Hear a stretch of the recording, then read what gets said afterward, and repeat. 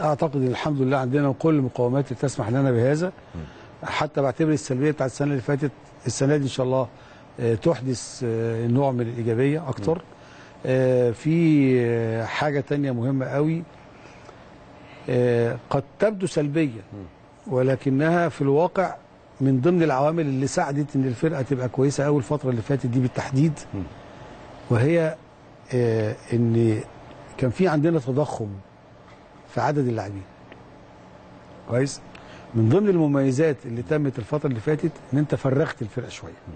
فرغتها بما لا يضر بما يفيد. إزاي يا كابتن زيزو؟ ده بينقلنا لفلسفة لجنة الكورة لجنة التعاقدات ودور حضرتك كمدير رياضي مع الجهاز الفني المدير الفني بالظبط. ومدير الكورة في فترة الانتقالات الشتوية. طبقنا عليها ده إزاي بالشكل الأفضل اللي حضرتك قلت في بداية اللقاء إنه ممكن يحقق أو حقق التوازن الفني والمالي.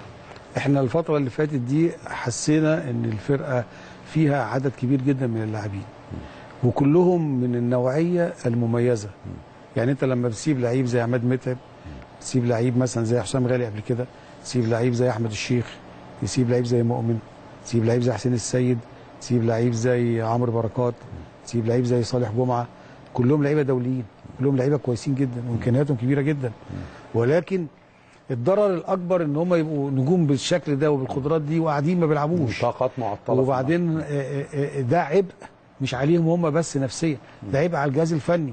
لأن أنا النهارده ما فيش فريق في العالم بيتمرن عنده 37 أو 35 لعيب. دي بتعمل عبء على المدير الفني في عملية اللعيب. وهو من أكتر المهام بتاعة المدير الفني إن هو يريح اللعيب نفسيا. طب هيريحه نفسيا إزاي وهو عنده بدل اللعيب عنده أربعة أو خمسة. وبالتالي من هنا جت الفلسفة بتاعت دي. وهنا آه، اسمح لي أذكر يعني إن هي كانت عملية صعبة جدا وعملية شاقة جدا. بس لولا التنسيق بقى اللي حضرتك كنت بتتكلم عنه ما بين آه، لجنة الكورة وما بين الكابتن حسام البدري وما بين سيد كابتن سيد عبد الحفيظ في إن إحنا إزاي نطلع وإزاي إن إحنا نجيب لعيبة آه، وإزاي إن اللعيبة دي تبقى موجودة بشكل يعود بالفايدة عليهم. وعلى النادي ادبيا وفنيا كلنا الرؤية الفنية ومادياً. اللي توصلتوا إليها كابتن زيزو اللي خلت مثلا مجموعة تخرج زي ما حضرتك قلت عندهم طاقات كبيرة جدا بس العدد الأكبر منهم ما كانش بيشارك فكان طاقته معطلة إزاي ده أفضل للفريق في الفترة الجاية فنيا مع كمان خروج عنصر زي مؤمن زكريا إن شاء الله مع عودته هيبقى إضافة كبيرة جدا للفريق إنه كان بيشارك أساسية. عملية التنسيق كانت سهله جدا يعني الجهاز الفني جه قعد معانا وفي لجنة الكوره واتناقشنا في كل الأمور وعرضنا الأسماء وعرضنا المراكز وبناء على رغبة الكابتن حسام قلنا ده ممكن يتم إعارته ده ممكن نجيب جل يعني نجلب اللعيب ده. آه، الفرقة ممكن تبقى الهيكلة بتاعتها هذا الشكل فكلنا اتفقنا عليها وتم تمت العملية بشكل الحمد لله. آه، حقق من وجهة نظري مكاسب كبيرة جدا سواء أدبية أو فنية أو مادية. آه، اللي أذكره هنا برضو إن العملية كانت صعبة جدا. بصراحة من ضمن الناس اللي ساعدتنا جدا جدا وسهلت المأمورية آه، معالي الوزير تركي الشيخ. في الفترة دي كان واقف معانا وقفة كبيرة جدا وقدر إن هو آه، يساعدنا في عملية التنفيذ. وبالتالي قدرنا إن إحنا نحافظ على لعيبتنا بشكل جيد وقدرنا إن إحنا ندعمهم هل تقصد حضرتك هنا ايجاد الفرص التسويقية المناسبة فنيا وماديا للاعبين مفيش وللنادي؟ شك مفيش شك. كان هو صاحب الفضل فيها اللي ساعدنا جدا جدا في إن إحنا ننفذ اللي إحنا عايزينه. إحنا وإن عايزين اللاعب يخرج بمقابل جيد وفي نادي مستواه عالي. فنيا ويرجع ويجهز ويشارك ويتقاضى يعني أجر بالظبط. جيد عن الفترة دي ويفيد. ناديه كمان. وما ما بنبيعش اللعيب. إحنا عملناه إعارة. وإعارة بحيث إن فترة الإعارة دي النادي بياخدها تاني من اللعيب بعد 3 كده. مليون 650 ألف دولار. يعني, يعني مقابل آه، الإعارات دي رقم ضخم جدا. فأنا عايز أقول إن هنا عشان كده هو ده المعنى اللي إحنا وصلنا له واللي أنا عبرت عنه إن إحنا بفضل الله قدرنا نعمل التوازن الفني والمادي في عملية البيع والشراء والإعارة وخروج اللاعبين بحالة رضا مادي وف... وفني. عن فترات طبعاً. الإعارة أو طبعا التعاقدات. وبعدين برضو اتحنا حاجة مهمة جدا بقى سيبك من الفلوس اتحنا حاجة مهمة جدا جدا لعدد كبير من اللعيبة لأن كلهم دوليين إن يبرز نفسه عشان خاطر كأس العالم فدي برضو نقطة مهمة يشارك جدا. ويحط نفسه في يشارك. الصورة قدام المدير الفني مستر فما كوبر. ده المكسب الأدبي اللي أنا أقصد عليه مكسب فني وفي نفس الوقت هو كسب ماديا. في نفس الوقت النفسية اتصلحت أكتر. صلحت بالنسبة للي راح إعارة ويلعب بره واتصلحت أكتر بالنسبة للعيب اللي موجود. بقى إحنا أنا كنت لعيب وعارف اللعيب اللي موجود النهارده. يجي يقول لك أنا هلعب يا ترى الماتش الجاي؟ لا ده في فلان وفلان وفلان.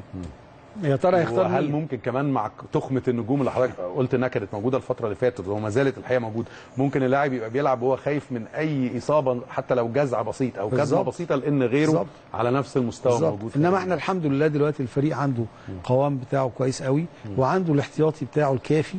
بدليل الف- الفترة اللي فاتت مثلا علي معلول بيغيب بتلاقي لعيب بداله صبري مثلا. فلان بيغيب بتلاقي البديل اللي بينزل بيبقى ليه تأثير كبير أحمد جداً. فتحي هاني باسم في بالظبط نفس المنطقة. بالظبط. فكل يعني دي برضو بتبقى فيها أريحية حتى للكابتن حسام والمدير الفني اللي موجود. يعني الوفرة وال... وال... النادي الأهلي مستواه دايما محتاج البدلاء على نفس بالظبط. مستوى المجموعة الأساسية ده متوفر. بالظبط. رغم عدد كبير من النجوم اللي خرجوا زائد بقى عملية ال آه، آه، إنك أنت مثلا النهارده بتيجي عملية التدوير. آه، بيتم الحمد لله دلوقتي بشكل جيد جدا. دي برضو بتفرق كتير قوي. إنك بتلاعب أكبر عدد من اللاعبين بتريح اللعيب اللي هو عنده إرهاق أو عنده كذا. في برضو آه، رغبة كبيرة جدا عند الجهاز وعند اللاعبين في إن هم يحاولوا يحافظوا على المعدل اللي عامل فارق ما بين المركز الأول والبطولة المركز الثاني أو والبطولة. لأن إحنا إحنا عندنا ما فيش اعتراف بالفوز بالبطولة إلا لما رسميا ت- تحسم. آه، عدد ال- ال- النقط اللي موجودة في الملعب آه، أقل من عدد النقط اللي عندنا مع الفريق. آه إن الفارق خلاص يعني إن خلاص. المباريات المتبقية ما تحصلش رسميا. بالظبط. فدي هتدي فرصة للجهاز الفني برضو إن شاء الله إنه يعطي عدد كبير جدا من آه، الفرص للاعيبه طيب، آخرين. ال- ال- اللاعبين اللي خرجوا هل هم فعلا في الحسابات يا كابتن زيزو؟ طبعا طبعا في بعضهم كان اوريدي في الحسابات وكان مطلوب لأنه محتاجينه جدا فنيا في تجربته خارج مصر حاليا هو النجم مؤمن زكريا. لكن أسماء تانية آه عماد متعب صالح جمعة ظروف الأسماء دي اللي هي دايما بيقول عنها الجمهور إنها أوراق ممكن الدفع بيها في أوقات وإنها عندها الإمكانيات الفنية بإجماع آه الآراء يعني. هل هم عندهم فرصة للعودة والمشاركة بقوة مرة تانية لو مستواهم من خلال فترة الإعارة دي عالي فنياً الفرصه؟ موجودة حسب الاحتياج دي حاجة وحسب آه، حالة اللعيب برضه هتفرق كتير جدا. وحسب المدة بتاعت الإعارة إن في لعيب طالع ست شهور زي مؤمن ومتعب مثلا. آه، وفي لعيبة طالعة سنة ونص. وأحمد الشيخ برضه طالع ست شهور. وأحمد الشيخ كمان. فالفرصه موجودة للكل. مفيش حاجة. طيب